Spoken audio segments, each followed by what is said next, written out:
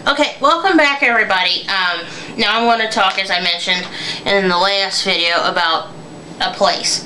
Like I said in the last video, um, it's not necessarily a restaurant review, because it, granted it has food there, but that's not the main thing. Um, it's not the main reason why Tony and I go there.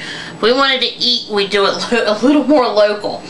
Um, you might have guessed, Tony and I went yesterday on October the 16th of 2010 to the Ohio Renaissance Festival.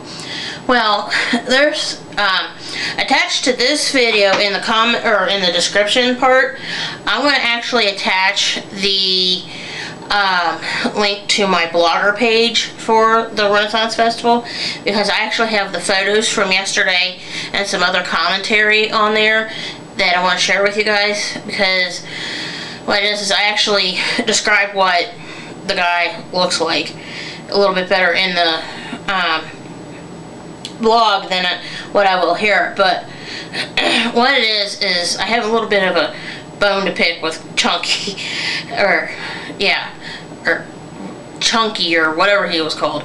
Um, we went, like I said yesterday, to the Renfest, Ohio Renaissance Festival.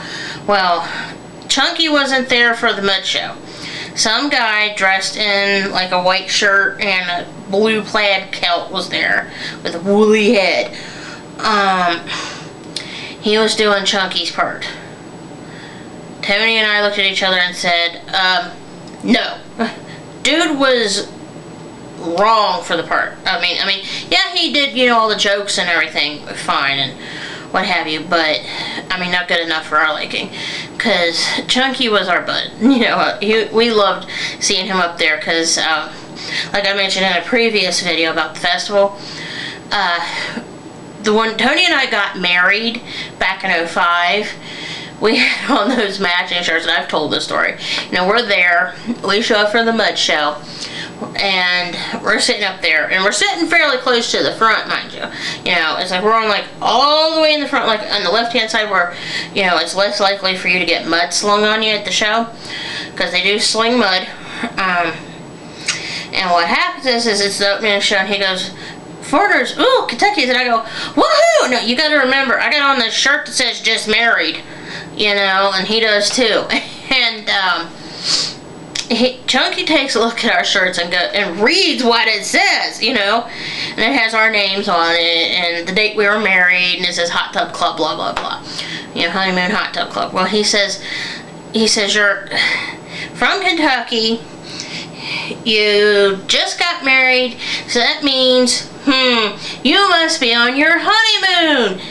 He, and he said, ladies and gentlemen, this couple over here just got married. And he had us stand up and get, said, get, couple stand up so we can give you a round of applause and, you know, whatever. Um, we got a standing ovation. And it was romance weekend. It was also my mom's birthday that day. Which was the funniest thing. I told my mom about that. She laughed. Um, I said, that was funny. But yeah, I mean, it's stuff like that that I remember about the festival. And I always, that's part of the reason why we went to the Mud Show was to see him. Just because we were going to wave at him and say, woohoo, it's Chunky! You know? He wasn't there. That guy that, that took his place is Wee Willie Winky or whatever he was called. It was Willie something. I couldn't hear couldn't hear what the, there was like two words and Willie I think was the first one or Willie Washer or something. Um, I call him Willie Winky on the blog, but it was something like that. Um, I, we just did not care for him. He was not good. I mean, you know, so Chunky, if you're watching this, dude, come back because we missed you. Okay. um, you know, there's actually people miss seeing you there. Um, you know, but we had a good time because Tony and I went there with a couple of friends that we weren't trying to hook up. Because there was, we have a couple of friends that, don't get me wrong, they're both single and I like both of them, but the guy, there's no polite way to say that that man's an odd duck, okay? He is an odd bird, okay? Um, the girl, she and I worked together and I was just glad to get away from the odd duck, okay? that odd duck friend of my husband's. Um,